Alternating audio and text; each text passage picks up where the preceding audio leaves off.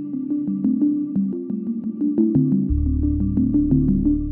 For me, the policy learning platform is a fast track to new knowledge and uh, gained experience because it brings together in one place such an aggregate of uh, knowledge and experience from all over Europe and you can access it in a very quick and fast way. I would mention peer reviews, which is an instrument uh, supported by Policy Learning Platform, helping regions to validate their new ideas and challenges with experts all across Europe.